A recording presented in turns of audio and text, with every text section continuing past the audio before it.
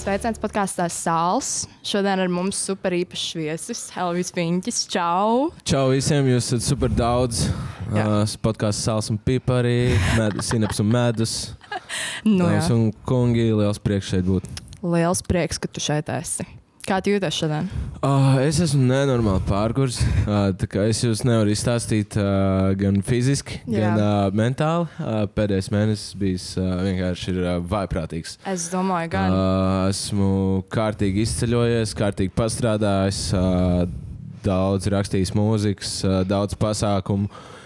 Un, uh, jā, es gribu vienu nedēļu tieši sāk, uzreiz pēc šī podkāsta. Es sāku atpūsties.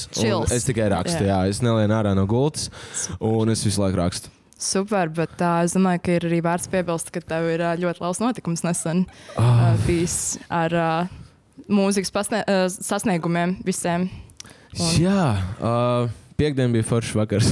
Jā, zelta mikrofons pastāsta mums vairāk. Um, jā, mēs bijām. Uh, mums bija piecas nominācijas Raģeša zinātnē. Uh, mm. Interesanti dziesma. Uh, mēs mēģinājām tajā rakstīšanas procesā viņu pēc iespējas vairāk uh, sačakrēt, Jā. lai nebūtu tik popsīgi. Jā. Uh, Daudzi man teica, ka radio viņi neatskaņos, un man bija diezgan vienalga. Es domāju, oh, cik forši man galvenais nebija. Es negribēju pazaudēt sevi Mm -hmm. uh, tajā visā, un redzu, ka beigās tomēr mēs izdarījām kaut ko pretēju. Uh, nu, forši. Teikt, varēs, uh, var, nu, var taisīt lietas, kas, par ko nesaņemt mikrofonu un tam līdzīgi. Eksperimentēt, daudzīties. Tā kā, uh, nu, jauki, jauki, protams. Super forši. Prieks dzirdēt. Kā tev vispār uz, uz aizsākuma pusi, kā tev vispār sākās rakstīšana, veidošana, mūzika, repošana? Es nezinu, Es, da- es spēlēju basi un uh, daudz sportoju, bet man uh, kaut kas visu laiku pietrūka. Man pakausīja kaut kas, uh, um, mm, uh, mudināja kaut ko darīt, vairāk kaut ko radošu. Man liekas, no kaut kāda 14, 15 gadu vecuma mm -hmm. es sāku rakstīt tā, tā mm, apzināti dziesmas un uh, filmēt. Uh, Filmēt uh, video klipus, un principā 15 gadus es neko citu neesmu darījis. Kā, varbūt kaut kādas uh, pagaidu darbus esmu strādājis, lai vienkārši apmaksātu savus uh, rēķinus un tam līdzīgi. Bet lielākoties es savu dzīvi sadalu divās pitsas šķēlēs. Tas ir uh, produkcijas, tas ir mm. -hmm. kino un tā ir mūzika. Mēnesis es nodarbojos, rakstu tikai dziesmas, vai, piemēram, vasarā mums ir koncerti nobukot līdz septembrim, tad mm -hmm. Mhm. tu aktīvi koncertē, un tad atkal kaut kādu laiku tu esi atradzis, kur mums ir uh, uh, reklāmas darbi un tam līdzīgi. Jā. Uh, nu jā, visu laiku dara principā vienu to pašu. Tā kā Mhm. tikai pārlec no vienas, no vienas kājas uz otru. Tā kā vienreiz uz vienas slīdes un otrreiz uz otras slīdes. Jā. Bet basketbola karjeru tu nebija apsvērs. ja? Uh, nē, es spēlēju diezgan, diezgan ilgi, bet mans augums neļāva to darīt. Bet es diezgan daudz uh, pabraukāju gan pa pasauli apkārt, gan daudz redzēju, gan piedzīvoju Mhm. kārtīgu skolas, ne, skolu neiešanu. Tā kā Jā. man bija vienmēr izrakstīts zīmes, uh, Jā. man liekas, visam gadam. Kā uh, es to arī izbaudīju. Jā. Man ir ļoti daudz draugu tieši no basketbola vidas, un man liekas, arī mūzikā diezgan daudz tur mm. -hmm. uh, ielicis tieši basīt un uh, kaut kāds referents, metafors. Jā. Nu, pat tieši bija viena intervija, kur man prasīja, kā, kāpēc uh, tu visu laiku repo par vientulību, basketbolu un kaut ko vēl tur bija. Es neatceros, kas bija trešā lieta. Es teicu, ka tas katru reizi ir kaut kas cits. Vienkārši tās metafors ir diezgan līdzīgas, jo mm -hmm. es Mhm. vienkārši to vidi ļoti labi pārzinu. Jā. Super, bet tā, piemēram, par mūziku, vai tu kaut kur mācījies mūzikas skolā, vai kaut kā, vai tas viss bija kā pašmācības ceļā? Nē, vispār. tā Kā, man liekas, mm, hip hops tādā ziņā superdemokrātisks. Mm -hmm. ir. Uh, mēs te šajā kompānijā ar, uh, bez, bez nekādas. Uh, uh, Izglītības varētu šodien uzrakstīt Jā. fantastisku gabalu. Mums Protams. vajag kompas, mums ir fantastiski, šūri mikrofoni, gaismas, uh, mums ir ieraksts. Uh. Uh, lielu daļu dziesmas vienkārši telefonā ierakstīts. Mm. -hmm. kā, ja tev ir ideja un tu apmēram zini, kā tas izskatās, tad tas, uh, tad tas strādā. Uh, otra lieta droši vien ir gaume. Uh, Mhm. Mums katram ir kaut kāda sava gaume, un uh, uh, viss atkarīgs no tās. Jā. Jā. Bet tā, tu tieši vienmēr esi zinājis, ka reps ir tas tavs žanrs. Jā? Mm. Mm. Neko citu muzicējis. Tu... Nē, es, um.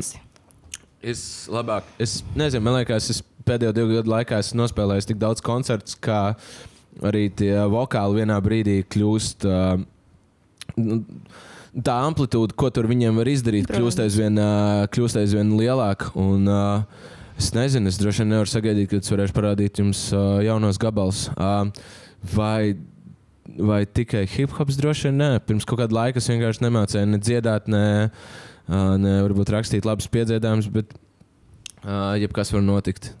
Visu var uztrenēt. Visu var uztrenēt, jā. Bet man liekas, ka arī mūsdienās visi žanri tik ļoti jaucās kopā, ka ir ļoti grūti nodefinēt, kas ir kas. Nu, jā, tā ir tāda super liela, liela veļas mašīna un brīvība. Un, uh, jā, es, uh, es esmu tikai par, un uh, es, man visvairāk bail ir kļūt konservatīvam Jā. pret kaut ko un, uh, un ielaist kaut ko jaunu iekšā. Tāpēc es uh, vienmēr esmu, mans durvis ir atvērts jaunām, uh, jaunām idejām un nepalikt tajā vienā.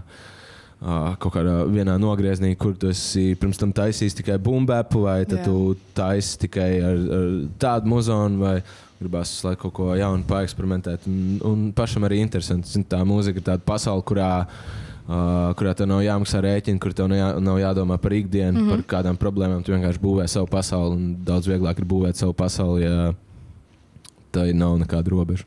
Vai tu esi vēlējies kaut kad uztaisīt kaut ko par savu bērnību vai par savu rajonu, Madonu? Um, man liekas, ka um, es diezgan daudz dziesmās esmu jau to izdarījis pašos pirmsākumos. Man liekas, tiesneša ziepēs un uh, laiks ir uzvarējis. Dziesmas ir gan par bērnību, gan par, uh, par to visu. Tāpat tās uh, ne gluži par bērnību. Mums albumā tāds slinkums, uh, pēdējā dziesma balans ir. Uh, Uh, tieši par, uh, šķiet, par, par, par Madonu un par to vidi. Mm -hmm. Gan daudz esmu to pieminējis un, un, un izdarījis. Tā kā, um, droši vien kādrei, katru reizi tu kaut kur atgriezies tur, bet uh, uh, man liekas, diezgan daudz gan tie salīdzinājumi ir bijuši, gan vispārējais. tā kā. Vai tev kaut kad, ā, nu, pirms vairākiem gadiem, kad tu tā kā uzsāki muzicēt, vai tev bija kaut kāda varbūt, saskaršanās ar vecākiem, ka tev bija tāds, jā, es tagad būšu reperis? Kādas Ā, bija? tā kā- Saķeršanās. Nu, n- es nezinu, varbūt kāda situācija, kaut kādas Jā. apkārtējās reakcijas. Jā. Um, man, man vecāki ir bijuši super atbalstoši. Mm. -hmm. Tā kā jau no paša sākuma. Jā, Uh, pirmā reize, kad viņi dzirdēja karaļu un karalienes, viņi teica, šim ir jāskan radio. Uh, pagāja pāris gadi, un tas tiešām notika. Uh, nu, uh, tā kā viņi ir bijuši visu laiku klāt, uh, arī teikt uzreiz pēc. Uh, Uh, zelta mikrofona viņi atsūtīja fantastisku video. Viņi bija atstādījuši telefonu, selfijā Jā. pret, uh, pret krēslu, mm -hmm. uzlikuši raķešu zinātnē fonā un ap divu dejo. Uh, tā kā viņi ir vienmēr bijuši super klāti, atbalstoši, mīloši, un, um, un par to ir liels prieks. Un uh, viņi ļoti labi zina arī mans tos uh, vājos punktus, ir dzirdējuši vājprātīgākās dziesmas, Jā. uh, nesmukākos demo. kā Tur viss ir tajā lauciņā, viss ir kārtībā. Jā, super. Kā tad tu turies virs ūdens starp savu producēšanu un uh, mūzikas rakstīšanu? Tas tev vienā brīdī nav tā bijis, ka tev viss uzlec visu uz, uzreiz tev virsū. Uh, pāris reizes ir, bet uh, man liekas, tagad ir uh, kaut kā tik labi izdevies visu saplānot. Um, Tu kontrolē to tagad. Jā, jā, jā, arī tie datumi man liekas, tik forši, forši aizpildās. Uh, man ir kalendārs, mm. -hmm. fantastisks kalendārs līdz septembrim. Droši vien šodien parādījās jau līdz oktobrim. Jā. Uh, droši vien pēc mēneša būs zināms Ziemassvētki. Tad viņos arī Jā. sākt, uh, sākt likt tās uh, papildus visas lietas iekšā. Un, uh, Un, man liekas, var, var rītīgi labi sadzīvot ar to. Un, un, un vēl, vēl parādījusies ir kaut kāda pasākuma vadīšana. Mm -hmm. Es neesmu uz to nekad īsti gājis, bet man uh, aizvien vairāk sāk parādīties šie piedāvājumi. Jā. Un, uh, man tas patīk, jo es neesmu vadītājs. Uh, man nav bail nofēlot. tā Kā, vienalga, kādai Jā. au, auditorijai. Tāpēc man liekas, ok, jā, let's do this. Tā kā Jā. pliežam, uh, skatāmies, kas notiks. Um, tā kā ir jautri. Vai tu uzskati sevi par darba holiķi? Oh, es nezinu, tā kā šodien es labprāt neuzskatītu. Kā, uh, šodien es gribētu um, ritīgi apstāties un uz uh, mirkli nedomāt, bet es šobrīd braucot uz šejieni.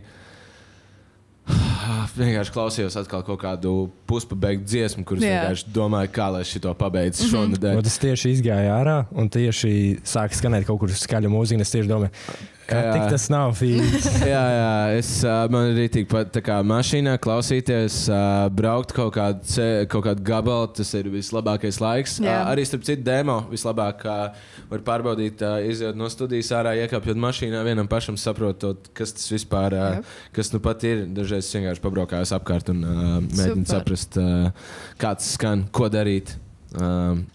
Tāda zin, zona, kurā tu vienkārši nedaudz paslēpies no visiem. Jā.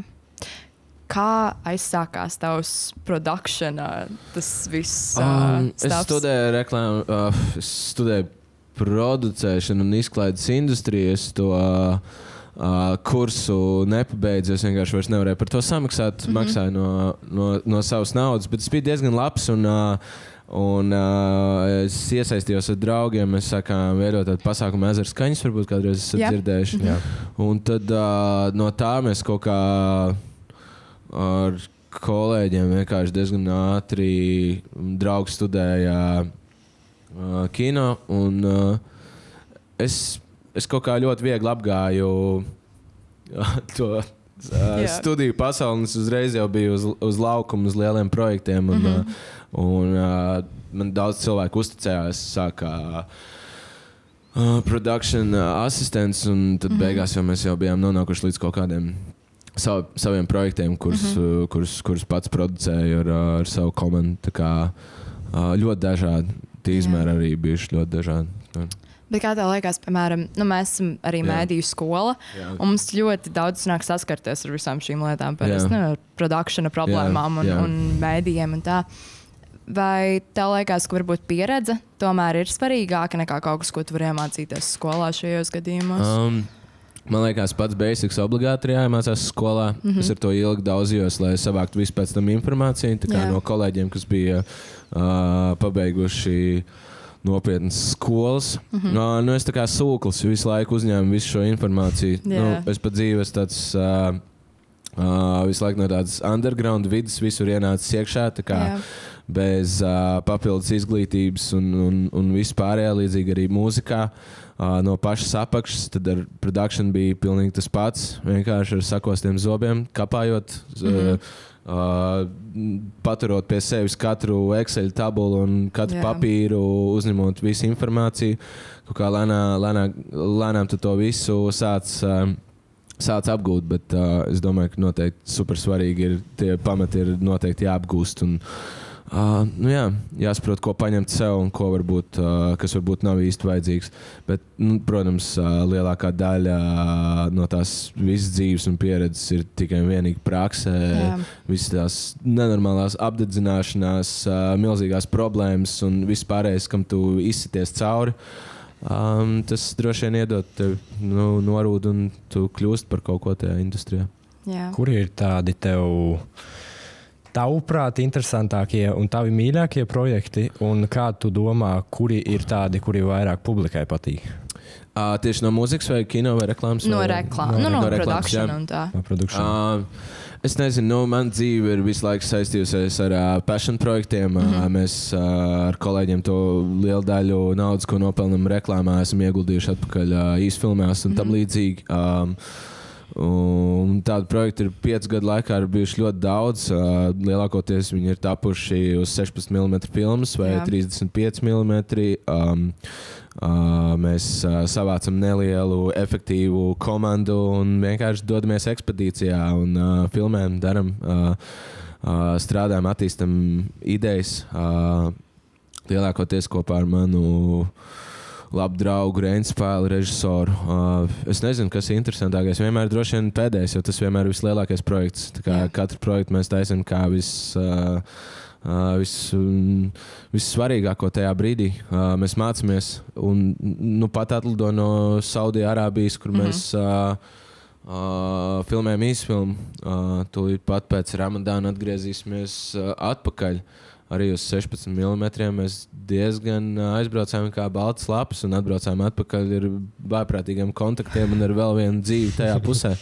Uh, filma būs uh, varena. Uh, katru dienu mēs pēc uh, filmēšanas vienkārši bļāvām. Veči, mums ir filma, mums fucking ir filma.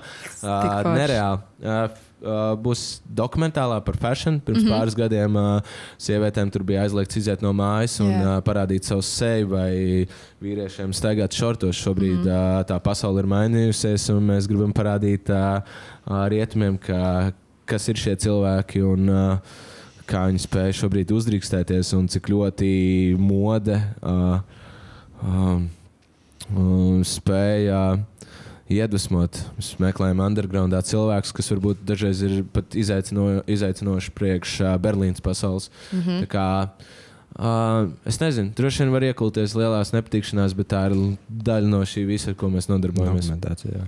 Jā. Kāds tad ir uh, tavuprāt, uh, vai tu vari ietekmēt fashionu, un vai tu esi tā domājis, vai kaut ko modelēt, vai, vai, vai, vai pats personīgi, nevis aiz kameras sēdēt, bet Jā. būt priekšā kamerai? Es nezinu, varbūt tagad pēdējos. Uh, es, es vienā brīdī uzstājos tikai kombinācijos. Uh, līdz vienā brīdī man uh, vienkārši visi reklāmas piedāvājumi, uh, kas ir nākuši piedalīties kādos projektos, visi man ir aicinājuši. Vienmēr, ah, jā, mēs ļoti gribētu, lai tu ģērbies savā, savā kombinācijā. nu, man ir šķiet, mājās, kad 11 kombinācijas vienkārši katru reizi es meklēju kaut kādu jaunu, jaunu virzienu. Uh, tad šobrīd es pat nezinu. Es diezgan esmu bijis vienaldzīgs. Katru dienu uzvelc kaut ko citu, vai šodien es vienkārši jūtos, uh, es gribēju izrāpties no mājas, pidžamā vienkārši satuntulēties un, un, un nedomāt par neko. Uh, citā dienā atkal gribās kaut ko izaicināt. Vai, uh, uh, ļoti, ļoti dažādi. Man ļoti daudz uh, kolēģi ir gan. Uh, gan modeļi, gan dizaineri. un Es droši vien kaut ko paņemu no viņiem, iedvesmojos tajā pusē, vai, vai ceļojot, to at, atrodu atkal kaut kādu virzienu. Atkarīgs droši vien no, no garstāvokļa. Jā. Bet uh, vai man baigi patīk bildēties? Uh, droši vien nē, man vienmēr liekas, ka, oh, what the fuck, tā kā, cik sūdīgi šodien izskatos. Un, uh, šis tiešām nav priekš manīm. Mūzikas klips varbūt ir kaut kas cits, tas ir vairāk ar mūziku saistīts. Mm -hmm. Jā, jāpārstāv sevi. To Jā, jā, jā tur uh, jāpārkāp, jāpārkāp pāri. Tam. Jā, tad tev tā kā tuvāk tā pasaule ir tā aiz kameras. ja? uh, jā, man es droši vien uh, man gribās visu laiku kaut ko radīt. Mm -hmm. uh, es noteikti. Uh, es vairāk iedvesmojos no kāda cita nekā no, uh, no sevis. Jā. Uh, tāpēc uh, droši vien uh, atrodoties aiz kameras un meklējot šos tēlus, mm, personības, es iegūstu droši vien daudz vairāk uh, pats kā personība. Tāpēc Jā. uh, man patīk to darīt. Kādi ir uh, tavi pienākumi kā producentam? Tā kā, kā izskatās tava ikdiena? Uh, mana ikdiena izskatās. Uh, Viņi ļoti dažādi. Atkarīgi, no, atkarīgi protams, no, no, no klienta. Ja mm -hmm. tas ir uh, komercdarbs, tad droši vien vispirms ir uh, šīs uh, idejas apstiprināšana, kas visdrīzāk ir nākusi no aģentūras, un pēc tam apstiprināšana kopā ar uh, klientu. Uh, tad uh, pirmais uh, visdrīzāk ir uh, komandas uh, savākšana kopā. Mm -hmm. uh, Nu, lielākoties tā par sastāv no kādiem 30 cilvēkiem. Jā. Katrai, katrai, katrai reklāmai vai katram darbam ir cita specifika, kam ir vajadzīgs. Um, cita garša, tas mm -hmm. ir cits stils, tas ir uh, cits ope operators, tas ir cits grips, uh, mm -hmm. tas ir spēcīgāks gafers uh, citā jomā vai tajā jomā. Jā. Uh, kameras asistenti, nezinu, jāpārvalda konkrēti kamera konkrētiem projektam. Uh, Uh, lokāciju menedžeri. Uh, tas apjoms ir uh, diezgan milzīgs. Uh, ko darīt ar lokācijām, ko darīt ar aktieriem, piesaistīt kādu vai meklēt pašiem. Um, uh, kā sadalīt visas šīs uh, finanses, kur atrast, uh, kur atrast to robu, kur varētu uh, varbūt ietaupīt, vai tieši otrādi, kur varētu papildus uh, uh, nopelnīt. Uh, cik dienas mēs filmēsim. Kā mm. vienu vai divas, uh, mēģināt uh, iespiest 18 stundās vai Jā. dalīt divās dienās un uh, strādāt pa 12 un skatīties, vai finansiāli tas vispār ir izdevīgi. Mhm. Uh, ļoti dažādi. Es nezinu, uh, nu, droši vien jābūt super erudītam, lai to visu varētu veiksmīgi pārvaldīt un nesataisīt kārtīgas ziepes. Plus vēl dienas beigās uh, uz seta jārunā ar klientu un jāmēģina saprast, vai tiešām mēs esam uh, uz vienas lapas, jo dažreiz uh, uh, problēmas nā, uzglūna no pilnīgi. Cits pasaules, kur tu nevarēji iedomāties, ka sanāks uh, tāds ziepes. Tā kā ļoti Mhm. dažādi. Jā. Nu, bet, ja jau mēs reiz runājam par produkcijiem, man liekas, būtu vērts pieminēt arī raķešu zinātni, uh, kā nu, klipu, piemēram. Mm -hmm. Jo man liekas, tagad uh, tā dziesma ir kļuvusi par tādu mini-revolūciju m- mūzikas, un uh, klips ir uh, ļoti. Nu, Ļoti Jā. ievērojams, labā kvalitātē. un tā kā Man tas liekas kosmos, pilnīgs. Eksotisks. Jā, jā. Elīze Jordana un Jurģis. Kmins un vēl 50 cilvēki. Uh, nu, jā, nu, Jur, Jurģa, Jurģa sajūta par to, kā, uh, kā bildē jāizskatās Elīzes idejas uh, kreizī. Mhm. Uh, nu, Vaiprāts, jā, es diezgan, diezgan interesanti. Jā, mēs uh, daudz laika pavadījām gatavojoties. Kā jūs tā kā. Kā, kā jūs, es tikai saprotu, jūs setu būvējāt, tā kā speciāli. Tam nē, daļa, daļa no seta bija jau, bija jau, uh, bija jau gatava. Jā. Bet tā es, lielākā, lielākā daļa, piemēram, tur kaut kāda uzraksta un, un grafiti un uh, kādas zīmes, tas ir arī. Uh, Tā ir sadarbība ar Nepālu un vienu mm, CGI. Um, Uh, Karali, Jā. Dimitrija. Uh, diezgan daudz ir uz datora zīmēts. Uh, Visas tās uh, malas, viss, ko mēs neredzam, mm -hmm. tie visi dūmi, tas viss ir likts klāt. Mēs Ok. okay. uztaisījām principā tādu uh, vidi. Mēs uzzīmējām vēlreiz daļu no tiem. Jā. kadriem, un uh, principā tu vari iegrozīt un salikt, ko tu vēlēsies iekšā. Wow. Piemēram, daži grafiti ir no manas kolēģa. Um, Uh, Daņa Rudens, kur, mm -hmm. kurus mēs vienkārši nobildējām grafiti uz ielas un ielikām pēc tam tur iekšā, lai okay. reprezentētu kaut kādā veidā vēl Madonu. Tā kā, Jā. Uh, tur ir mans suns. Uh, uh, tur ir tik daudz lietas uh, iekšā. Kā, uh, tādas daudz un mazas detaļas. Principā par tādam uh, kadri ir ļoti gari. Un, uh, mēs uh, negribējām daudz katot. Mēs gribējām iet un, un, Jā. un skriet un, un, un pēc iespējas mazāk montēt, bet koncentrēties uz to. Uz tām 30 sekundēm katru Jā. reizi. Kā, uh, nu, dažādas uh, foršas, foršas uh, idejas dzima vispār. Uh, uh, jā, es nezinu, man, es rītīgi izbaudīju. Vai mums bija beigās problēmas? Laikam, nē. Tā kā mm. mēs, mēs kārtīgi pārskrējām pāri un visi izbaudījām procesu. Tā kā, un, un, un droši vien nu, visi, kas tur strādājuši pie tā klipa, pie tā klipa ir nu, šī brīža aktuālās. Uh, Kino leģendas, visi šie cilvēki, kas ir iesaistījušies, uh, milzīgs apjoms. Uh, daļa no viņiem šobrīd atrodas tur uh, lejā. Jā, jā. jā, tā kā. Bet, uh, nu jā, tiešām skatoties, tāds jūtas, ka maza filmiņa. Jā, jā, tā ir Jā. tiešām. Jā. Um, pf, jā. Ilgs un gars, uh, gars stundas. Cik daudz laika jūs pavadījāt? Es neatceros, man liekas, sevis mīlestību pirms tam filmējot. Mēs ilgāk laiku pavadījām. Šeit bija Jā. šeit nedaudz ātrāk. Es, es vairs neatceros vairākas dienas, bet uh, kā, kas to lai vairs Bija tā- bija tā vērts. Bija, bija tā vērts. Jā. tiešām. Kāda tad uh, bija sadarbība ar Filipu Šmitu Um, personīgi? Jo daudziem reperiem, par ko mēs runājām pirms Mhm. tam ā, aizkadrā, ir ā, tā, ka ir tā savi fotografi vai Jā. savi operatori, ar kuriem viņi sadarbojās tieši. Man liekas, ka jūs ar Filipu Šmitu esat daudz Jā. Uz to kopā. Jā, jā mēs esam. Uh, nu, man diezgan mazs burbulis ir to draugu un, mm. -hmm. un cilvēku, ar ko es, ko es strādāju. Un ar Filipu mēs uh, pavadām daudz laika kopā. Mēs nu, pat bijām arī Saudijā. Mēs mm. -hmm. svinam uh, svētkus kopā. Mēs, uh, Uh, nu, mēs esam ļoti labi draugi. Nu, kā, kā draugi mēs viens otru pušojam. Uh, mums ir kopīgi, kopīgi projekti. Uh, mums ir daudz un dikti daudz un tik skaistas lietas sadarītas. Pavadām brīv, brīvlaiks kopā, ceļojam. Mm. Uh, mūsu ģimenes kopā ir, kā, uh, ir fantastiski. Mēs varam būt tavi draugi. jā, jā, jūs dro, nāciet kompānijā. tā kā, Nu, Tiešām.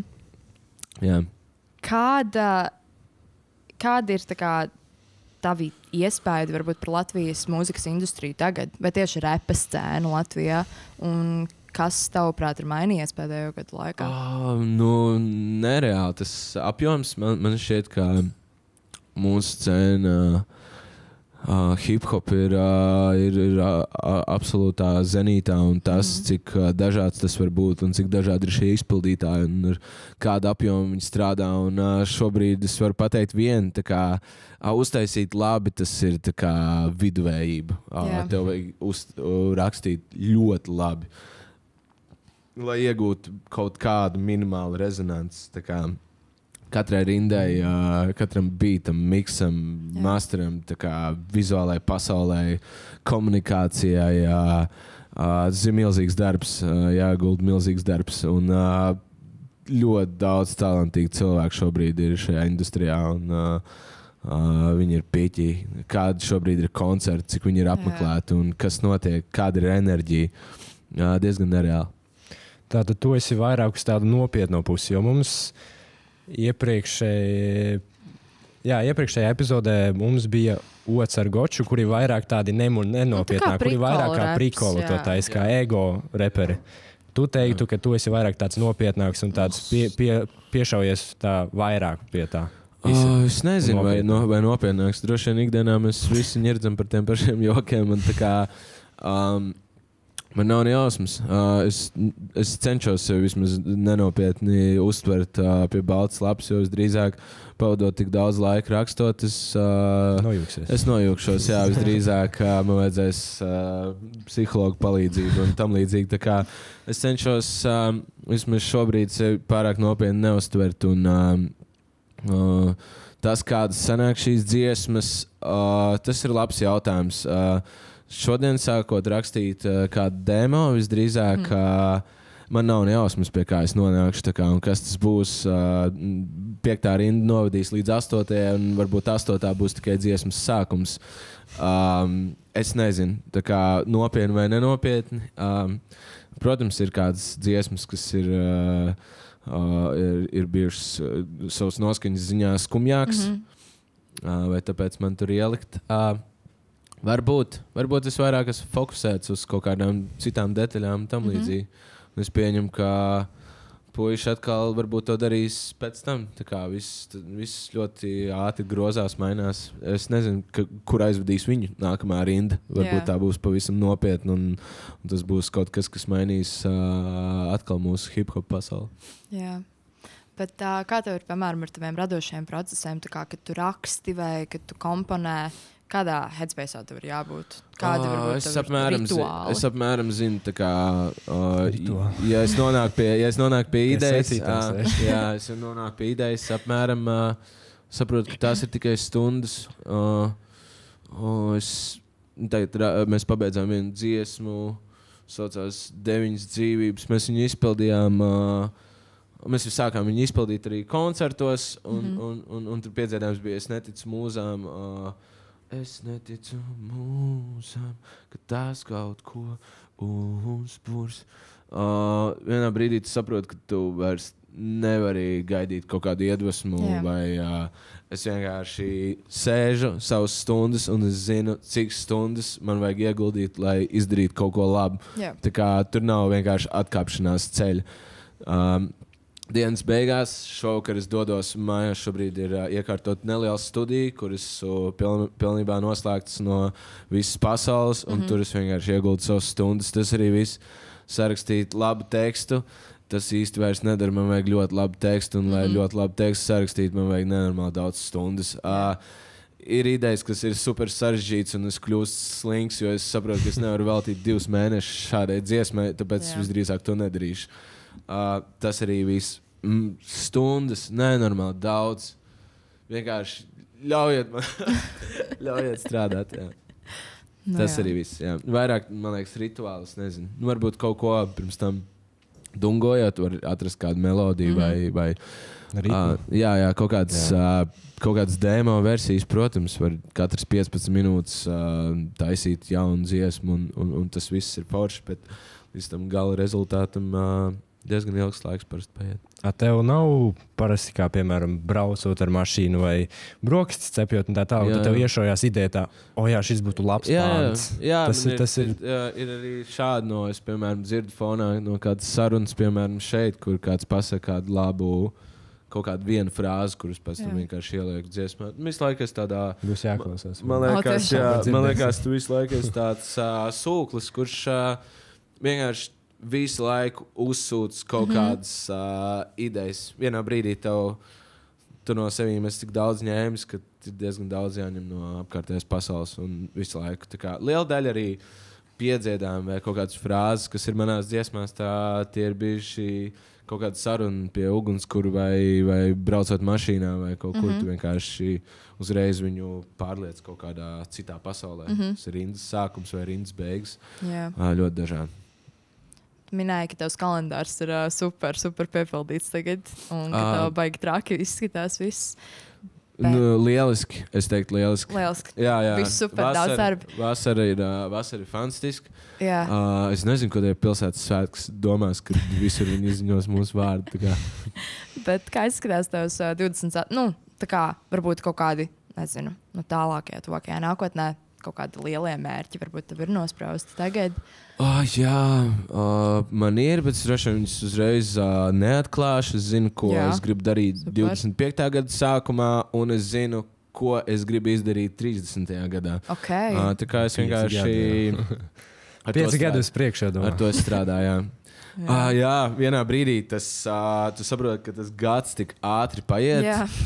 Tas ir, ne, tas ir kļūst nekontrolējami. Un, ja tu nepievelc kaut kādas tās idejas pie mm. -hmm. tāda piecgadus plāna, ir diezgan, diezgan sarežģīti. Tā kā Jā. uh, tu vāc visu laiku to informāciju, tu visu laiku apgrūžājies, tu kā skeletonā lido vienkārši lejā pa to trasi, bet ik pa brīdim ir jābūt tiem checkpointiem, kurus tu atzīmē, ok, šis ir. Uh, šis ir izdarīts, ir jāizdara nākamais solis un tam līdzīgi. Kā, un tas viss ir atkarīgs tikai no tevis paša. Neviens nekad, uh, cit, neviens tavā vietā neko neizdarīs mm -hmm. un, un, un, neizplānos tavu, tavu kaut kādu dzīves gājumu. Un it īpaši. Ņemot vērā, ka šī ir jauna cilvēka mūzika, man nav variantu. Man vajag to izdarīt ātri. un pieci gadi ir lieliski. Jā. Zelta vārdi. Mums ir tagad tā, tāda viena no mūsu podkāstu uh, sadaļām, kas Rubrika. ir ātrie jautājumi. Jā. Tas ir tā kā rapid fire, tev ir pēc iespējas Ok. ātrāk jāatbild. Ar vienu vārdu vai ar teikumu, vai vienkārši Ar vienu vai Ok. diviem, Ok. vai teikumu, Ok. ja tev ļoti gribās. Ok, Jā. Kas tad vienmēr ir tavā kabatā? o, Maks. Tagad nav. Pilns maks? Pilns maks? Uh, es īstenībā esmu paredzējis, uh, ejot uh, uz interviju, vai, piemēram, iet studijā, novilkt visu parasti no, yeah. šobrīd no gredzena, bet parasti visu novelku mm. -hmm. nost, izvelku no, no kabatām ārā. Jā. Uh, kaut kā, lai tas uh, netraucē. Bet uh, parasti vislielākoties tas ir maksājums. Zelts vai mikrofons? Zelts vai mikrofons? Jā. Mikrofons. Kā pavadīt jaunību? Um, sports izglābs pasauli. Super. Sportists. Čības ar zeķēm vai bez? Ar zeķiem. Jā, jā, tur man liekas, kaut kāds veidojās cits mikroklimats. Tā, uh, kā tu sevi uzmundrinātu? Um, un noklausoties uh, foršu dziesmu, mīļu dziesmu. Savu dziesmu. Um, es cenšos, es pats esmu kautrīgs klausīties savu Ah, dziesmu, kad viņi jau ir izdoti. Pirms tam es droši vien noklausos tūkstoš reizes viņu. jau. Tā, tā Jā. vajag, man liekas. Jā. Uh, kas ir tava apkaunojošākā bērnības atmiņa? O, skudrs ielīt dibenā un man vajadzēja iet pie. Uh, Uz trumpu. jā, iet, iet prasīt, lai vēl kārā. Iesēdos pūznī. Nu, kam negadās? Klasika. Tiešām. Uh, mīļākie svētki. Um, droši vien Ziemassvētku. Uh, labāk dziedāt slapjam vai sausam? Slāpjam. Slapjam. Jū, Slapjam? Jū, man patīk, ka klubos uh, teks viedri no griestiem. tā Kā, Mm, jā, mm, uh, man super. patīk uh, kārtīgi pārdīt. Nu, vai arī, kad festivālā vajag ieskriet no palmas. Jā, jā, jā. Urā, jā, negadās? tā ir pilnīgi cita pasaule. Jā, labāk slapjam. Uh, zemenes vai avenes? Zemens. Lakrica. Jā, vai ne? Laikam nē. Like, Jā. ah, Tāpat kā aknas. akna, Aknas jā, mūsīs. jā. Jā. Cik maza ir Rīga? Uh, šobrīd ļoti, ļoti maz. Un Tā, Ļoti nu, maz. visus pazīstu, jā, jā, tā ir maz. Ļoti maz. Kad ir tava dzimšanas diena? 15. augustā. Okay, tu esi lauva. Jā. Okay. jā. Es uh, pēc, uh, pēc uh, lauvas es esmu horoskops. Mhm, nu, jā, jā, Jā. tas nolasām. Cik zelta mikrofons tu gribētu? Tikai ideālais skaits. Es nezinu, man, tā kā, man nav tāda zelta mikrofona vilkme. Ir forši, protams, ir satraukums, kad izsauc tavu vārdu, bet uh, droši vien uh, es gribētu par kaut ko ļoti, par labu darbu. Vienkārši tas ir ļoti labs projekts, un tas ir pelnīts. Tad uh, es, es gribu saņemt visas šīs balvas un, un kladzināt to, cik labi mēs esam pastrādājuši. Tas ir kaut kas viduvējs, un, uh, un tā ir uh, kaut kā netīšām mēs tur esam nonākuši. Tas Jā. īsti nestrādā. Nu, tad pieņemsim 20, varbūt. Vai Nu, 10? Es domāju, ka 20 varētu būt pietiekami labi. Div, Aptuveni. 20, 25 kaut kas tāds. Es- Ok, Es, nezinu, no cik, 20 ā, līdz cik 25. prātniekiem ir. Jā. Mm, nu, piefiksēsim. Jā. Uh, kas ir tavi top 3 mūziķi šomēnes, tā kā, kurus varbūt tu on repeat? Klausies? top 3 šomēnes, ā, par cik mm, ceļoju un vajadzēja ā, iepazīties ar arābu driftu. Mhm. Tad MIA, uh, Ok. okay. Uh, Jā. ļoti daudz klausījāmies. Uh, tad, uh, kas vēl varētu būt? Uh, King Cruel uh, diezgan daudz klausījos mm. -hmm. šomēnes. Un, uh, mm, kas vēl mums tāds uh, sitās cauri Fox Warren, tāda uh, Andy Šaufa uh, mm. -hmm. grupa, uh, kuras klausījos braucot šeit, gan, gan, gan arī viņa pēdējo al albumu. Mhm. Uh, nezinu, Vilnius Butlers ar savu jauno sastāvu man ļoti patīk. Uh, Čāls ar, ar kādu Fire Solis brālis, kurš Jā. aizpēr projām. Jā. Tā kā no grupas uh, fantastiski. Es nezinu, diezgan daudz šomēnes esmu klausies. Ā, kādi tev tādi no Latvijas puses? Un no latviešiem, ko es šomēnes esmu klausījies, daudz. Uh, mm, Uh, mēneša sākumā mēs klausījāmies uh, uh, mauzlēju mūziku. Uh, Jā, Tā ok. kā kungs, es jūtos Tas tā kā kungs. Uh, tad. Uh, mm, kas vēl mums te dzīvojās? Droši vien uh, draugi kaut kāda. Uh, ik mm -hmm. brīdī mājās esmu uzlicis šomēnes. Uh, un kas vēl? Nu, protams, ālējs, tā kā ūdens vīru vakar klausījos. Protams. Vai tev ir talants vai hobijs, par ko citi nezina? Viens? Mm, talants vai hobijs, par ko neviens nezina.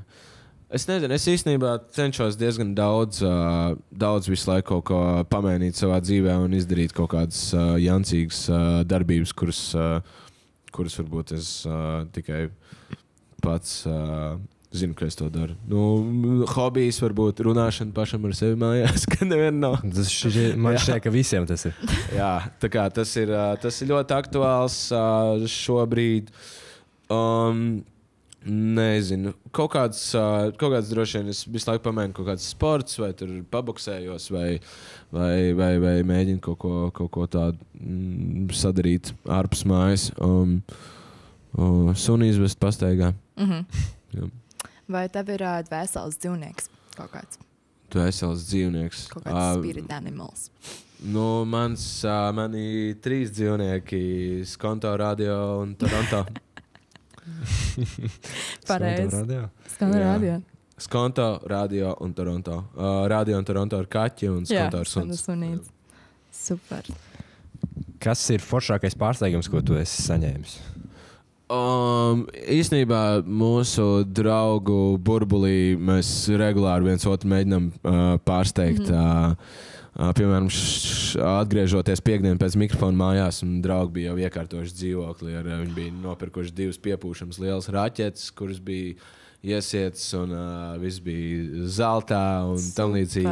Uh, mēs viens otram dāvinām visādas smieklīgas dāvanas. Uh, uh, es nezinu, arī, kad kolēģi atsūta jaunu mūzikas skici vai kaut ko, tas arī ir fantastisks pārsteigums. Tā kā visu laiku mēs viens otram kaut ko apčubinam.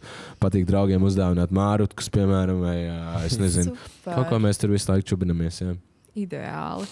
Uh, vai tu lasi dzēju? Un, ja jā, kas ir tas mīļākais dzēnieks? Um, es baigi nelasu. tā kā Dzēju. Es esmu mēģinājis sev piespiest, uh, lasīt ar tādu domu, ka uh, man to vajadzētu darīt. Bet, uh, Smelties iedvesmu kaut ko. Es, es tā iedomājos, tā kā es ik pa brīdim kaut kur paņemu kādu grāmatiņu, palasu, bet es ļoti ātri pārskrienu pāri. Un, uh, uh, es negribu nevienu apvainot, bet nu, man vairs dzēja neizklaidēja. Ja tas. Jā. ir izklaides veids, tad uh, 38. gadā sēžot zem ābeles, droši vien bija ļoti izklaidējoši rakstīt, lasīt dzēju. Tad uh, šobrīd man tas es, es, man ir grūti kā, man, mm. uh, pilnībā iesaisties tajā Jā. Jā. iekšā un, un lasīt. Es varu lasīt, kā, nezinu, uh, man patīk. Uh, Uh, Asprātīgs salīdzinājums un, un kaut kas, kas varētu pārsteigt man rakstot kaut kādā formas ziņā. Kaut kas, uh, nu, es nezinu, šobrīd reperi ir, uh, ir tik ļoti atraduši dažādas virzienas, kā pārsteigt, ka tas man uzrunā vairāk droši vien Jā. lasot viņu tekstus, nekā vienkārši dzējas krājumi. Mm. Jā. Kas tad ir tāds labākais padoms, ko tu esi saņēmis? Uh, labākais padoms. Uh, mm, Kā nevajag uh, ūdenī lekt ar galvu pa priekšu, mm. -hmm. vai vispār lekt uh, ūdeņos, kur tu nezini, kas tur vēlams par āvas apakšā notiek. Jā. Uh, to man teica ļoti zīmīgā dzīves uh, mirklī, un droši vien tas man visu laiku ir palicis kaut kur uh, atmiņā. Padomu droši vien ir daudz, šis man vienkārši tāds Pirmais. Iespiedies, jā. jā. Uh, vai tu raudi pie filmām? Tikai kur kāds izdara pāri dzīvnieciņiem Jā. vai zirgam, nedod tas Dievs. Jā. Bet uh, ir mājaslapa, kur tu vari nočakot pirms filmām. Jā. ja viņi saucās, man liekas, tas ir Dog Die vai kaut kas tāds. Es vienmēr čekoju. Okay. kas Ah, tiešām šis jā. būs jāatcerās. Jā, jā Ok. okay. tas ir rīktīgi labs. Jā, tips. es noteikti apraudātos, ja, Jā. ja kaut kas notiek slikts dzīvnieciņam. Nu, Nesaprotu. cilvēki ir mm, tādi krāni, ka mm, dažreiz nav vispār žēl. Jā, bet filmās tas ir arī tā kā mega lieki. jā, jā, jā. Nu, tā kā jā, tas neko nav nedod. Jā. Bet- Nu, jā. Jā. Kas tad uh, tev nekad neapniks? Um, mm, mm, saulaina diena droši vien. Um, Pārējais varētu Tikko sācies pavasaris. jā, jā, varētu. Beidzies tās drūmās. Jā, jā, jā, drūmās jā varētu apnikt. Tā kā saule varētu, smaids es, saule varētu neapnikt. Follow-ups pie iepriekš, nu, uh, pirms tam. Vai tu esi raudājis pie savas dziesmas kādreiz? Jā, es esmu raudājis. Tā kā gan asariņa ir bijusi uz skatuves, mm. -hmm. o, droši vien kaut kādās ļoti zīmīgos mirkļos izpild, izpild, izpildot, gan arī uh, pabeidzot, un arī ir īstenībā rakstot tekstu. Kā, mm. -hmm. Pirmā reize, kad mežozīt, man liekas, rakstīt, tad es uh, biju diezgan, uh, diezgan sliktā savā dzīves punktā, kur es mm. -hmm. uh, vienkārši ieslēdzos un rakstīju dziesmas. Diezgan daudz, jā. Beidzot, beidzot viņu pabeidz. jā. uh, Uh, nu, drīzāk, vairāk tu vienkārši velc no sevis kaut kādu informāciju, mm. kas tev ir ļoti sāpīga, un tad tu mēģini viņu pārkonvertēt dziesmā, un tajā radās kaut kāds uh, uh, emociju uzplūdums, kurā tu sāc vienkārši raudāt. Jā. kāds ir tāds tavs foršākais ceļojums, ko tu varētu nosaukt? Foršākais ceļojums, ko es varētu nosaukt. Um, es, mm, daudz, daudz lielas jautrības ir uh, bijušas. Um, um, es divus gadus atpakaļ ar, labākiem draugiem Ziemassvētkus uh, svinējām pa Grieķiju, braukājām apkārt. Uh, Tas tik ļoti palika atmiņā, jo mēs vienkārši kā, bijām baigā banda kopā un uh, darījām visu, ko, ko jaunieci vienmēr var, var iedomāties. Daudz no katra ceļojuma var kaut ko paņemt, uh, paņemt, uh, paņemt sev līdzi. Uh, pēc tāda tava grafika tev bieži sanāk kavēt vai, vai nebūt vispār mājās uz kaut kādiem svētkiem? Uh, uz svētkiem laikam nē, es parasti zinu, kā visi ieplāno tā, lai varētu, uh, lai varētu visu visur Ziemassvētkiem. Piemēram, es nekad ne, es nespēlēju Ziemassvētku koncertus vai mm. Jaunajā gadā. Es nepiekrītu. tā kā Arī, nu, vienalga, Tur ir tu- atpūšanās. Jā, vienalga, Jā. kādu naudu tur piedāvāt. Es esmu to darījis, un man liekas, tā kā, kam es to vispār daru. Tā Izaudzis kā, ja no es, tā. ja es nevaru Jā. mm. tagad uh, būt ar kādu kopā, mm, tur, tur svētkos un, un tam līdzīgi. Līdzīgi ir tiem pašiem Jāņiem. Es vienmēr tā nedēļa brīva. Mhm. Uh, tā kā vienmēr gribās uh, arī to nedēļu pilnīgi brīvu, neko nedarīt. Tu tā vairāk ceļo kā darba lietās, vai, vai, vai arī daudz- Pēdējā laikā sanācis vairāk darba lietās, bet Mm. izskatās, ka šis gads pildās lēnām arī ar tādiem uh, tusiņiem. Jā. Vienkārši vai pārgājieniem, jā, pārgājieniem un, uh, un tam līdzīgi. Mm -hmm. Mhm. kā, kas vairāk ir pie dabas. Neatrod balanss. Jā. Jā. Ja tu varētu samainīties ar jebkuru cilvēku uz vienu dienu, kurš tas būtu? Vienu cilvēku. Vienu cilvēku. Uh, mēs varētu paskatīties, kā reperis J. Cole dzīvo. Jā, nebūtu Cole. slikti. Jā, Tu esi jā. tāds J. Cole fans. Uh, vairāk, jā? nu viņš vēl vienīgais no tiem, par tiem, kuriem es fanoju, vēl ir dzīves. Jā, Jā. Mums ir uh, mūsu podkāsta brānda jautājumi. Mēs katrā Jā. epizodē šos uzdodam. Cik vilki ir tevī? Um, šobrīd varētu būt kādi četri. Šodien tieši tā kā četriem. Jā. Un kādi? Kādi tie ir? Uh, viens, kurš ir uh, vājprātīgs, slings un vienam ir visu laiku jāpašo. Viens ir uh, viens vienkārši ir sakot zobus un mēģina, mēģina tikt uh, šai pasaulē, pasaulē cauri. Uh, un tad ir viens, kurš ir. Uh, Super mīlošs pret visu un cenšas tā kā, to situāciju Motivēt. nedaudz uh, nos, nos, no, noslāpēt. Un tad ir viens, uh, kurš ir baigi labs draugs tam slinkajam, bet Jā. uh, tomēr uh, vairāk domā par savu veselību un par to, ka, hei, veči, mēs varētu izdarīt kaut ko labu priekš sevīm Mhm. šodien. Un tev ir tas, man liekas, balanss. Viss ir zen. Uh, es Jā. ceru, jā, es ceru, ka, es ceru, ka viņš ir, ka viņš kaut kur uh, tur dzīvojas. Jā. Uz tādas nots, tad eh, kas ir tavs dzīves sāls? Uh, dzīves sāls. Um, mans moto ir I make moves that makes no sense and makes no money. Ideāli. Tas ir mans sāls. Uh, passion projekti, uh, visas tās uh, idejas, kuras tev liekas vājprātīgas un uh, uh, ir, ir vienkārši ir jādara šī piedzīvojuma dēļ. Uh, vienkārši viss, kas tev ienāk prātā, kas varētu būt tiešām forši, ir jāapmēģina un, un ir jāizdara. dzīvo tikai vienreiz. Jā, Jā absolūti. Vienkārši kapā atrod tās iespējas un vienkārši izdara to, ko tu patiešām vēlēsies uh, darīt. Jā. Ideāli. Mēs esam nonākuši, mēs esam gandrīz pašā beigās. Mums ir vēl uh, viena sadaļiņa, kas sadzās tur kā jāpapēc teikums. Jā, Tikai šoreiz mēs esam īpaši arī uh, pielikuši dažus tavus lirikus, kas Ok. jāpapēc. Tā kā tev Ok. būs jautrs prāta mežģis. man liekas, ka es, zi es zinu visas dziesmas no galvas, kad es sāku viņas no. A līdz Z, bet Jā. Kaut kur vidū ieiet, tas varētu būt super sarežģīti. Nu, Ok, paskatīsimies, redzēsim. Bet, uh, jā, pirmais, kas tev ienāk prātā, ja tu saņemtu piecus zelta mikrofonus, kam tu pateiktos savā piektajā runā? Um, nu, Ziniet, kā es tās runas vienmēr domāju uz vietas. Uh, tā kā pff, man nav ne jausmas, droši vien es pateiktu kaut kādas pāris stulbības, uh, kuras pilnīgi neko īsti nenozīmē. Un uh, varbūt neparāda man no tās labākās puses. Jā. Bikšu starām jābūt līdzi. Un, nu, tagad vajadzētu, šobrīd vajadzētu iet pārpotīt. Jā. Būtu vēlams.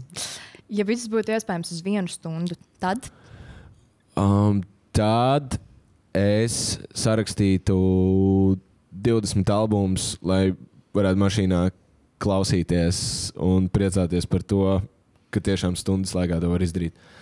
jā, ļoti ambiciozi. Ļoti forši. Ja tu dabūtu Aladinu, ja tev būtu Tas, trīs kurš izlēma vēlēšanas, ārā jā, no jā, trīs vēlēšanās. trīs vēlēšanās, kādas tās būtu? Um, es gribētu, lai, uh, ir, mm, lai man nav jāuztraucās uh, par to, ka uz šīs pasaules dzīvo mm, uh, cilvēki, no kuriem man ir bail. uh, kur grib man kaut ko kādam nodarīt pāri. No kā tad Ah. vēl? Uh, kurš man varētu nogalināt, man nošaut vai, uh, vai mežā aprakt dzīvu. Mhm. Uh, tā droši vien būtu pirmā vēlēšanās, un tas varētu mierīgi uzlikt somu un staigāt pa pasauli un Jā. priecāties. Tā būtu laba tēma video mūzikas.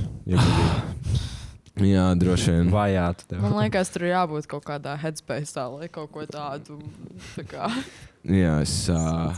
Uh, jā, es nezinu, nu, trešā vēlēšanās droši vien uh, nu, baigi negribās uh, kā pašam sev melot un palikt tur tajā punktā, varbūt ko es jūtu šobrīd, lai, lai mana intuīcija strādā lieliski. Mm Mhm. Jā.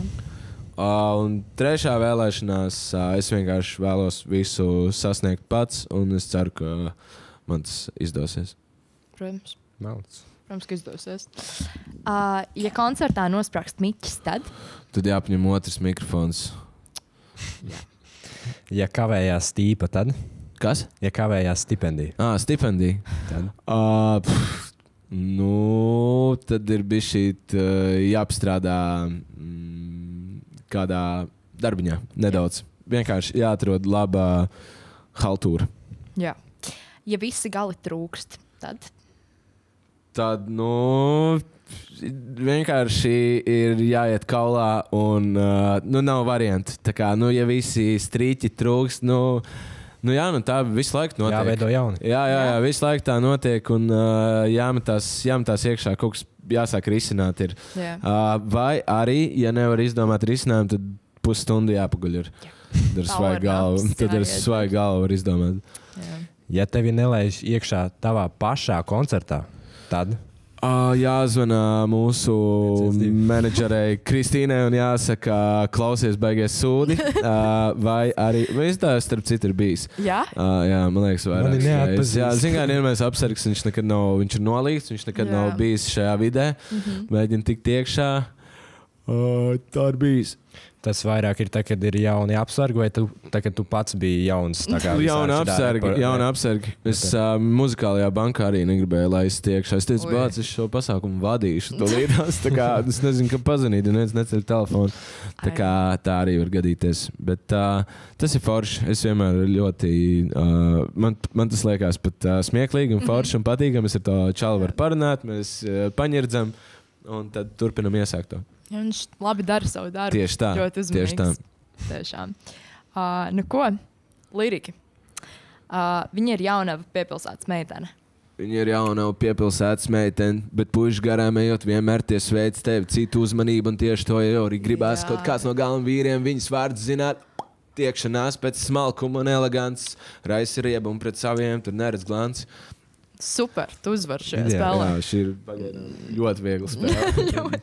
Priekš astoņu gadu, pirms astoņiem gadiem to aptuveni tu esi izlaidis viņu, un tu zini viņu perfekti. Es zinu viņu perfekti, tā kā absolūti. Tur Divi bērnības draugi visu dara kopā. divi bērni, o, šo gan es ā, Mēs atklājām. Divi bērnības draugi. Visi dara kopā, kopā sāk dzert, kopā sāk pīpēt, bet pa vidu viena meitene un sajūta tādu. Di, ah, jā, es neatceros, kā Nu, tas. Bet man Jā. liekas, ar pirmo tu. tev- Jā, kaut kā es dzirdēju arī nedaudz to mūziku, kas droši vien uzreiz tā urt, iziet Nē. cauri, tā kā mierīgi. Es runāju par mūziku šī rīta ēnu. U, šis ir uh, no. No fanda albuma. Es runāju par mūziku šī rīta ēnu kā vienīgo. Kuras es runāju par mūziku šī rīta ēnu kā vienīgo. Kurā, bļā, jā, šo es neesmu arī izpildījis. tā kā Griezīt. Griezīt. Griezīt, jā. Jā. Uh, Tu, tu, tu. katram kāda sava kaita krūtīs. Nākamais. Jā, katram, katram kāda sava kaita krūtīs. Jā. Jā, bācis tik labi. Man pilnīgi es jūtu, ka es to esmu uzrakstījis. Katram kāda savu kaitu krūtīs. Ka, nu, ok, bācis. Es neesmu izpildījis viņu koncertā, man liekas, desmit gadus. Nē, bet Nu, jā, viņa ir man pirms desmit gadiem. Uh, mums bija basketbols, eju. mums bija basketbols sev, bet mēs nodzērām. Super. Jā. Ideāli. Nu, ko mums ir uh, daži iesūtītāji jautājumi Okay. priekš tevis? Uh, pirmais ir, kā tad pavadīt jaunību? Uh, jā, um, droši vien, mē, droši vien mācīties, uh, daudz atpūsties, satikt draugus. Uh, obligāti jāiet ir ārā, ir uh, jāiepazīstās, uh, nevajadzētu kautrēties. Jāatrod, jādibina kontakti visai savai dzīvei, Jā. uh, jādara kaut kas radošs, jādara arī darbs, ir daudz jāstrādā. Ir, uh, un vispār jābūt vienkārši patīkamam, foršam cilvēkam, kurš uh, mm, padara vienkārši pasauli par skaistāku vietu. Tā Kā, un arī citiem tā kā, jāuzlabo garstāvoklis. Uh, nākošais ir uh, Finči. Kad tad jauns muzons būs? Uh, jā, man liekas, tas pat būs. Es tieši šodien par šo runāju ar kolēģiem. Ka, uh, pirms tam mēs vienmēr izdevām kaut kādas dziesmas um, uh, gada sākumā. Mm -hmm. Un uh, tam bija vienmēr kaut kāds arī mērķis, ka mm, tev vajag uh, koncerts, pasākums, Jā. Gribās, lai viņus sabuko vasarā un tam līdzīgi. Un tad šogad uh, mums diezgan laicīgi, jau pagājušajā gadā viņi jau diezgan ātri mm -hmm. kaut kādi datumi aizpildījās. Un man liekas, hei, cik forši es beidzot esmu tajā dzīves punktā, kur uh, man nav kaut kādas lietas jāsasteidz. Un mm -hmm. es varu sagaidīt, kamēr visi izdod uh, gada sākumā savu muzonu, un tad pirms Jā. vasaras vai tur, nezinu, aprīļa beigās vai maijā es varu vienkārši izlaist tās dziesmas, ko es sarakstīju pagājušajā gadā. Jā, Tāds ir mans plāns. super. Kāda ir tava sapņu sadarbība tieši mūzikas sfērā? Un sapņu sadarbība. Es par to esmu daudz domājis. Ir daudz foršu piedāvājumu bijuši, un viss kaut kas ir procesā un ritīgi notiekās.